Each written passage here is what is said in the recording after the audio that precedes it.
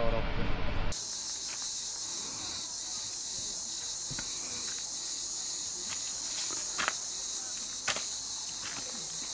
Üç sefer doldu bu gece bu tekne.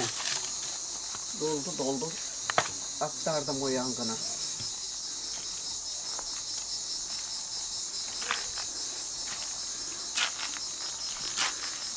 Yemiş ağacı ne zaman ekildi? İncir. incir. Ha, çocuk çocuk ufadı o zamanlar ektiğimizde. Bir yabani yemişten çıktıydı. Aşı yaptık.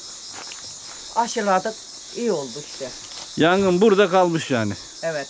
Şurada tutmuşmuş işte böyle buralar yanarak o çocuğum yetişmiş. Şu tepeyi göstereceğim. O tepedeydi biz Manavgat'tan yürüdüğümüzde. Tamam. Buraya hele siyah dar yangın buraya yetişti. Şu ar- arkada tarlaya yetişti. Tamam. Buraya gelişin çığırışmaya durdular. Evden kaçın, evden kaçın. Şu pençerde bir oğlan vardı. Çıkarın evden diye benim ellerimden alıverdi. Doktorla büyük kız taş özü açtık. Görmedik ev gayri. O yüzden de hiç görmediğim yollardan dolandık geldik. Beni yarın sabahla dedim köye iletirseniz iletirsiniz. İletmezseniz dedim doğru ırmağa giderim dedim. Irmakta ne var dedi. Bir hafta önce bir yeğenim öldüydü. Barış var dedim. Barış yarına kadar giderim dedim. Sabahla kalk verdiler, bura beni getirdiler. Ta her taraf yanar. Gitmen içinde yanar, gitme gayri dedim. O zamandan bari de bu ev beklerim. Bundan gene sıçrar ataş değil.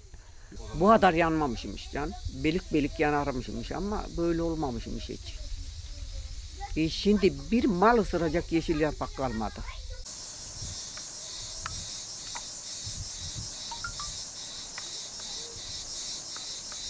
Biz terk edildikten işte yarım saat sonra duyduk ki buraya gelmiş kozalak atmış. Ondan sonra itfaiye herhalde itfaiye yanaşmış. Sanırım itfaiye yoktu o zaman o anda.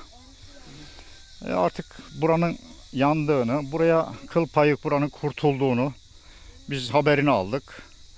Ondan sonra yine tekrar ertesi gün geldik soğutmalara başladık. Sürekli hortumla burayı sürekli soğuttuk. İşte 3-4 gündür. Daha akşam yağmur çilendi.